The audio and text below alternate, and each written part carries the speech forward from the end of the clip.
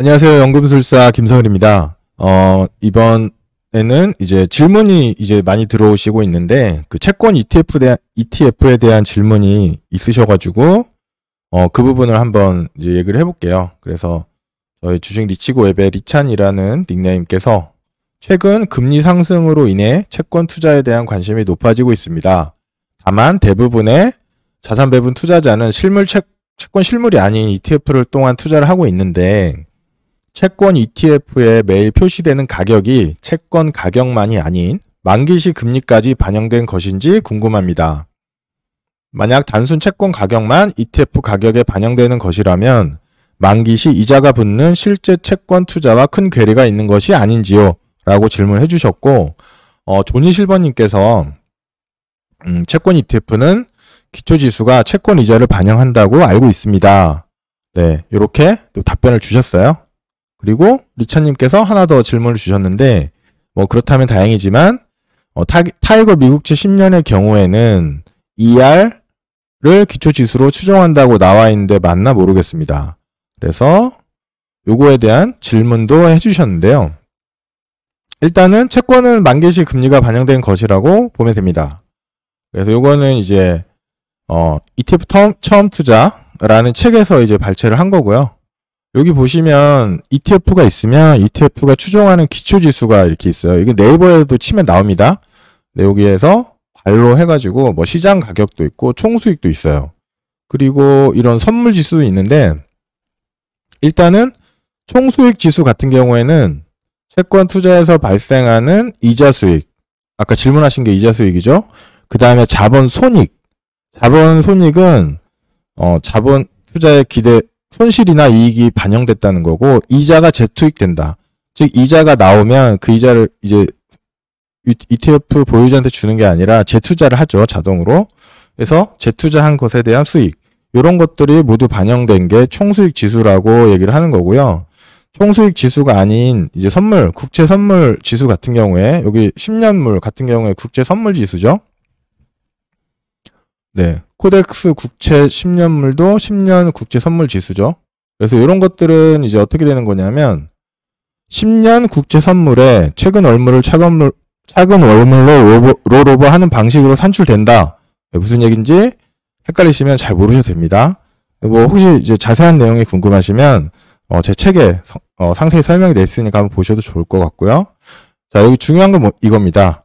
10년 국채 선물은 만기가 10년이고 표면 금리가 연 5%이며 6개월마다 이자가 지급되는 가상의 국고 채권을 거래 대상으로 하는 선물 상품입니다. 즉 이제 궁금하셨던 게 이자가 지급되느냐 그래서 이자가 지급된다라고 가정하고 가상의 채권을 만들어서 그 가상의 채권의 어, 가격 움직임을 반영이 됐다는 거예요. 그래서 이자 지급된다라고 이제 확인하시면 되고 그리고 미국채 같은 미국채 아까 질문해 주셨는데 ER 지수라고 표현되어 있는 게 있어요. 그래서 이것도 한번 잠깐 살펴보면 어, 마찬가지 ETF 처음 공부에 나와 있는 내용인데요. 그래서 선물 지수 같은 경우에는 이 액세스 리턴은 뭐냐면 지수로 구정하고 있는 어, 선물의 가격 변화에 선물 만기 시 발생하는 만기 2월 효과를 반영해서 산출하는 지수다. 그래서 ETF 같은 상품에서 실질적으로 추적이 가능한 지수다. 이렇게 설명이 되어 있고 그리고 TR 지수는 뭐냐면 어, 쉽게 말해서 어, ER 지수를 구성하기 위해 이런 선물에 투자를 했는데 그리고 나면 현금이 일부 나와요. 즉 여기 설명되어 있는데 1계약 가치에 대해 증거금만 납부하면 투자가 가능하다. 그래서 투자가 이루어지지 않은 자금, 즉 현금이 남아있죠. 이 자금을 단기국채 같은 거에 투자해서 어, 최, 그 단기 국채 수익률, 최소한의 수익률들을 계속 챙겨 나간다는 거죠. 요거까지 포함한 걸 어, 선물에서 total return이라고 합니다. 그래서 주식 지수에서 말하는 total return은 배당 수익률을 포함했다라는 거고요. 그래서 주식에서는 TR, PR 이렇게 이제 구분을 하고 선물에서는 TR, ER 이렇게 구분을 합니다. 표현 방식이 좀 다르고 계산 방식이 다르다는 걸 알 수 있고 어, 이론상으로는 이제 TR이 ER보다 낫습니다. 실제로 S&P 500 선물 ER하고 TR을 비교를 해보면 연 1.7% 차이가 납니다. 네, TR이 더 많이 준다는 얘기죠. 근데 뭐 1.7%가 별거 아니라고 생각하시는 분도 있고 굉장히 높다고 생각하시는 분도 있겠지만 이, 있을 텐데 20년간 누적해 보면 100%, 106% 차이가 나요. 1.7% 굉장히 큰 겁니다. 1년에. 그래서 아무튼 ER보다 TR이 더 좋을 거다라고 이제 추정할 수 있는데 어, 여기 보시면 실제로는 그렇게 큰 차이가 나오진 않았어요. 왜냐면 우리나라에 여기 밑에 보시면 타이거 S&P 500 선물이 있고 코덱스 S&P 500 선물이 있는데 이 오른쪽 상품은 total return이고 왼쪽 상품은 excess return이에요. 그러면 아까 보신 것처럼 1.7%의 수익률 차이가 나야 될 것 같은데 뭐 실제 움직임은 거의 비슷하죠. 거의 비슷하고요. 수익률을 보시면 어, 연 0.05% 포인트 차이가 납니다. 네. 큰 차이가 안 나죠?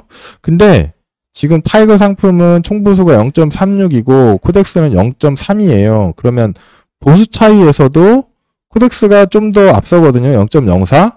그러면 수익률 차이가 보수 차이 때문에 오는 건지 아니면 기초지수 때문인지 뭐 명확히 설명하기는 좀 애매한 것 같아요.